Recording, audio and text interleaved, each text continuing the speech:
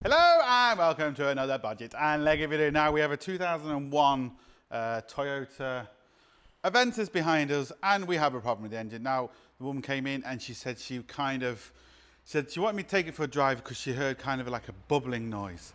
So I immediately thought, you know, overheating, but I couldn't smell the engine overheating. If you've heard an engine overheat, you can kind of smell it and it just didn't smell that way. So I said, just start it and she started it and obviously it was missing, but that's the way she described it, which is fair enough. Now she did say she's had some work done on it recently um, and I can see there's two new coils on it and they are spurious coils.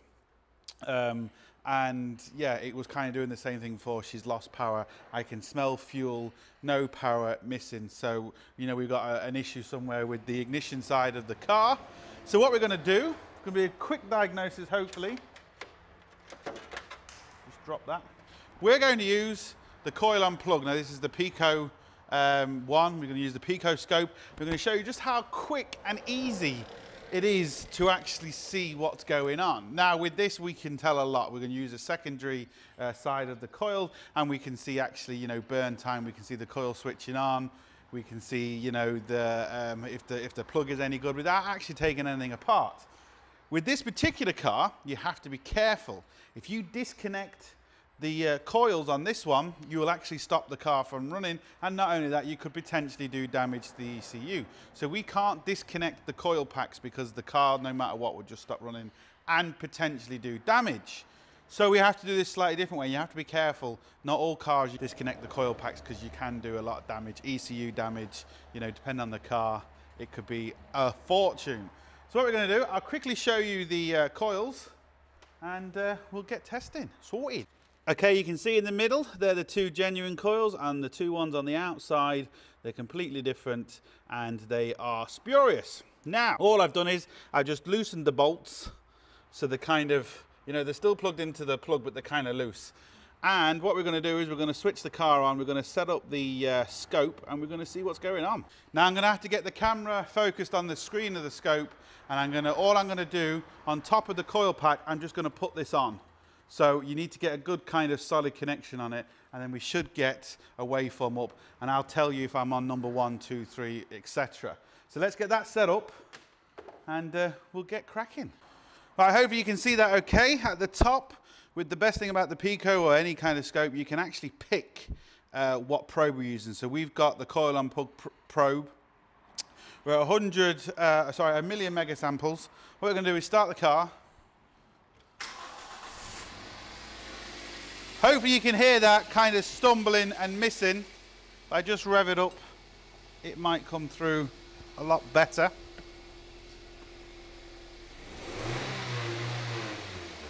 Not really, but believe me, it's missing. So what I'm going to do now is, we're going to put it on number one, number two, number three and number four, and see what's going on.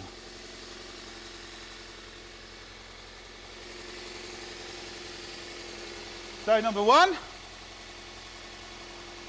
Oh, I need to run the scope. Run. Number one. There we go. Looks kind of okay.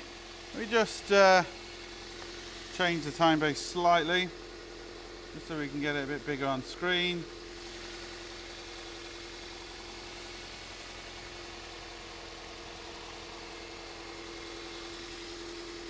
Change it again.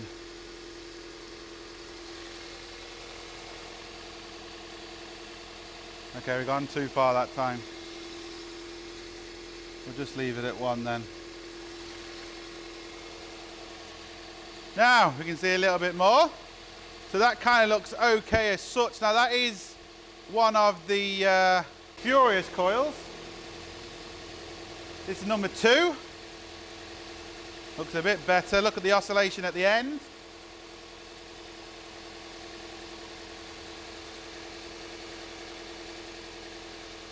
This is number three. And then number four. Aha. Well, there we go, look. I'm on number four. And as you can see, nothing is happening. Okay, go back to number three. and we'll just stop that so we can do a little bit of checking. Now I won't go through it all on this video, but you get the idea.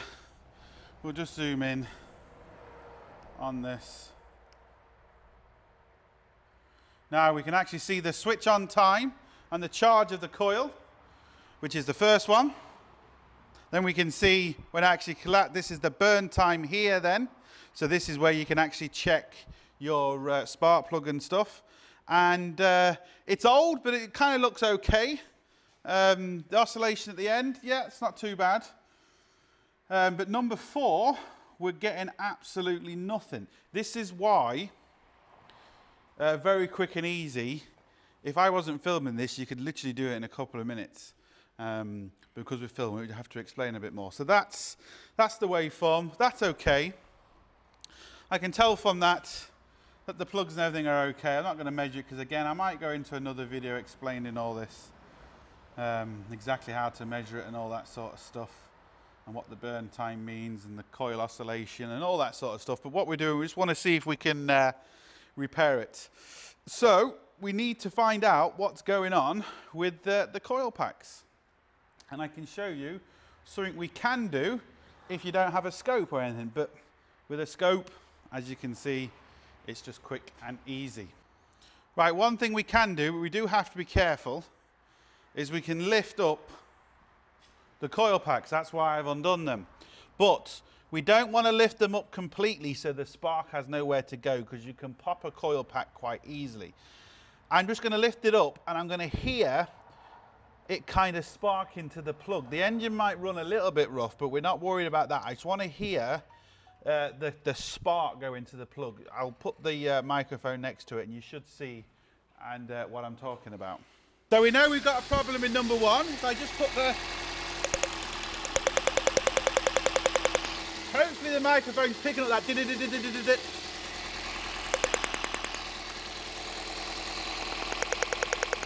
So this is a way you can do it to see if your coil is actually sparking, but do not disconnect these. Now, we know they're all okay anyway, but you can actually hear them.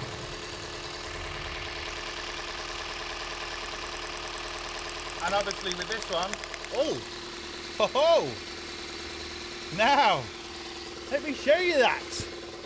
Right, I'll just uh, take this off now. I'll show you something and then we'll show you inside the car. Right, obviously you can't smell this, but believe me, it stinks like burning circuit boards. Um, you can actually see, the camera will actually focus, right, focus. Come on, please, focus. There we go. Now, look at that. Look at all that burning right down there. We have spark occurring outside, outside the cylinder. This is a new, well, I call it a new spurious one. And there we go, it's blown up already within, within a week. So let me try and get you inside the engine so you can see what's happening with that. Electricity will always find the path to least resistance and the plug is obviously quite hard to go through. That's why the coil has to charge up and just explode all that energy. So there is resistance in the plug. But if we've got spark occurring on the outside, well, obviously, you know, it's going to take the path of least resistance. So I don't know how I'm going to do this. I need to get you in there and uh, so you can see the fireworks. This should make a good thumbnail. Look at that. It's actually sparking everywhere. How cool is that? Well, it's not cool, but you know what I mean. not good for the engine. Now,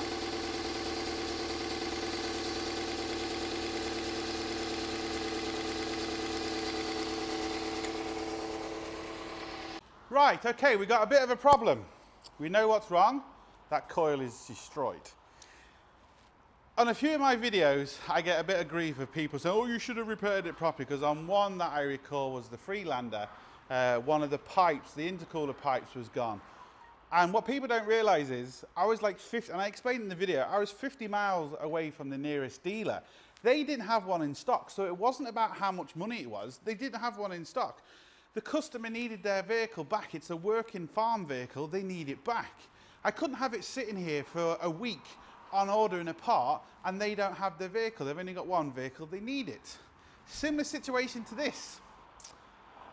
The main dealer doesn't have one. Tomorrow is Good Friday, so no one's going to be open tomorrow. Uh, the weekend, no one's going to be open, and Monday, no one's going to be open. The person that owns this car someone, one in their family is disabled, they need the car. So I have to get a spurious one again.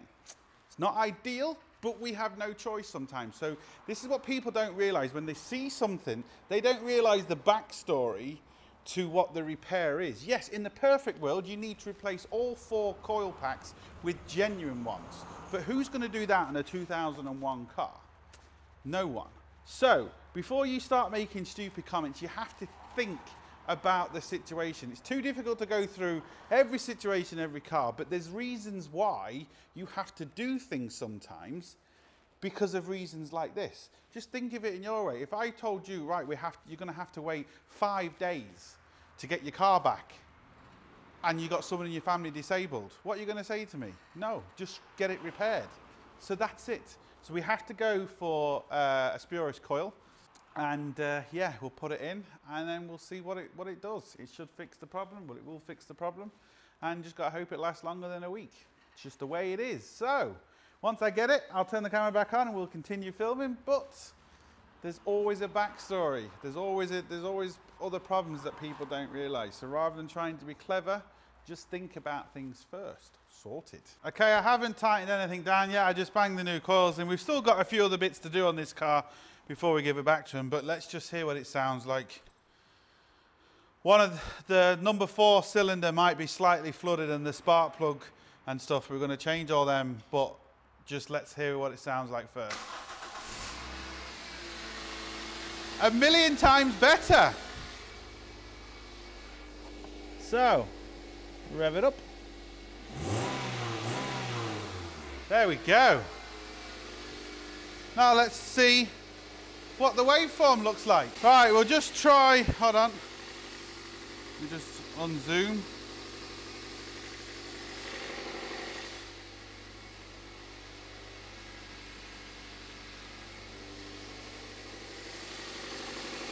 So just try one of the old ones first.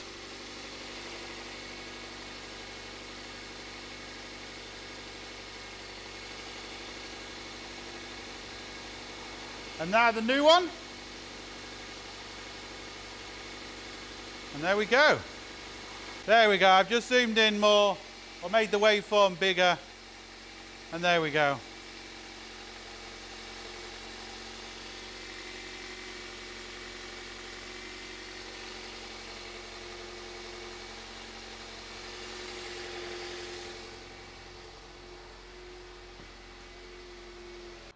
Right, and there we go. Very simple, quick and easy diagnostics, quick and easy fix. Very, very simple. Nothing uh, difficult here.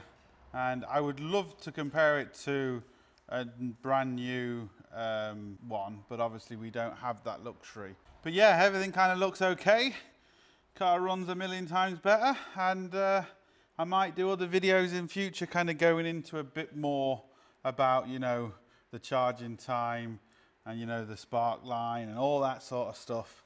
And um, yeah. But anyway, so I want to ask a question. You can answer it down in the comments. What would you do in this case if you didn't have a scope?